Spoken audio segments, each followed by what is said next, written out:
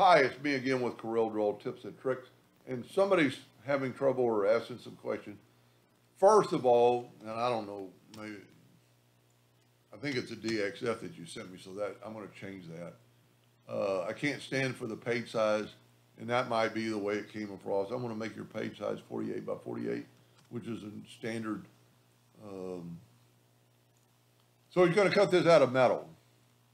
That name's not gonna work, because if you take the Smart Fill tool and make the metal part out of it, once it's cut this inner circle and then it cuts the outer circle, that whole circle is gonna fall out. So we need to fix that. But I'm gonna look at the fish first, but I'm gonna make my, this whole thing sixteen inches. I wanna make my nudge factor seven, eighteen, I'm gonna nudge this out of the way. Now I'm gonna look at it. There are two hundred and nineteen objects right here. One, two, three, four, five, six, seven, eight, nine. On nine letters, there's two hundred and nineteen objects. There's something wrong right there. Look at that. There are two lines and they're not even, none of them are connected. So that's not gonna work at all. Let's see about this. Let's see if the fish is the same way. Wow. There's double, at least double lines everywhere. So one way to get rid of that, take the Smart Fill tool. Smart Fill creates a new object, left click and right click. Now if we look at this, there's just one curve. All the lines are the same. All the lines are good. Now, I'm gonna get rid of this so we don't ever use it again. I'm gonna hit the plus key and I'm gonna look at the nodes. Eleven hundred and sixty-eight nodes. That's a lot of nodes on a plasma cutter, so I'm gonna grab all the nodes with the shape tool and I'm gonna type in twenty. Now I've only got four hundred thirty-six. That's almost a third of the nodes. And I would almost guarantee, I'm gonna make this one black, put it on top. I would almost guarantee, it changed some of the lines, but you can't really tell the difference, and it didn't do anything wrong.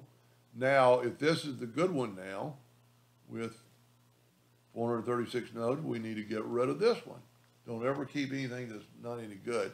I would make this one red, so you know it's a cut line. And I would just go around the whole fish now that we've changed it and get rid of some of these. Look at that sharp point. I mean, the plasma cutter is having to cut. This is gonna burn away. So grab your nodes and, you know, you got your handle way out here. You know, bring that, of course, whenever you do this, you wanna make sure you, uh, you're not hitting. You know, give the plasma cutter a little room to move around. Do that over the whole thing. Um, You know, right here, look at that. You know, that's just not gonna fly. I don't know why the handles are so long in this, but I mean, that doesn't make any difference in the drawing. You know, look at everything. Um, you know, the trees aren't terribly bad.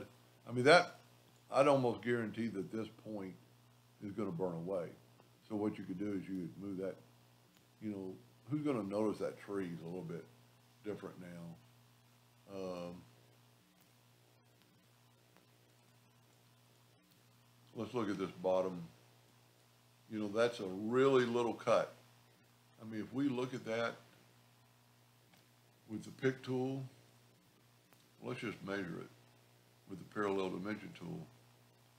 That whole thing is not even a half an inch long. That's a, you're asking an awful lot. You know, it's only a sixteen inch drawing, so I would at least make this thing, you know, bigger. Um, Sure, it's gonna, you know, change the graphic a little bit, but, you know, these sharp points, um, you know, even with a fine tip and thin metal, I'm afraid you're gonna have troubles. Anyway, just go over the whole drawing to see if that's, um, something you could change. Um, It's a nice drawing, I like the graphic. If I was looking for a fish on a hook, I would probably use it. Um, See, that's just, that's asking an awful lot. Anyway, I've taken a long enough time on this video. I'm gonna make a part two, and let's figure out how to do this right here. Hope that helped. Thank you for watching.